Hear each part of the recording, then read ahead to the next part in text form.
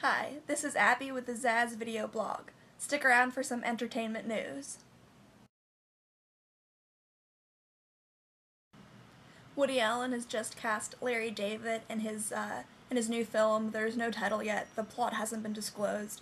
Personally, I'm hoping it's a return to the neurotic dramedy of like Annie Hall, Manhattan, and one of my personal favorites. Um, Everyone says I love you.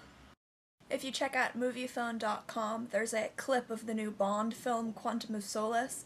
I'm super excited for it. I thought uh, Casino Royale was great. It was a much needed new direction for the Bond franchise, which had, frankly, just gotten kind of old and too slick and just not very good. You should also check out Zach and Ryan's spoof of Be Kind Rewind slash The Departed. It's really good. it's called a Be Kind Return Disc. There's a uh, great joke in it about Chinese throwing stars, so watch it uh, and see what I mean. This has been Abbie with Zaazz TV's video blog. I'll see you again soon.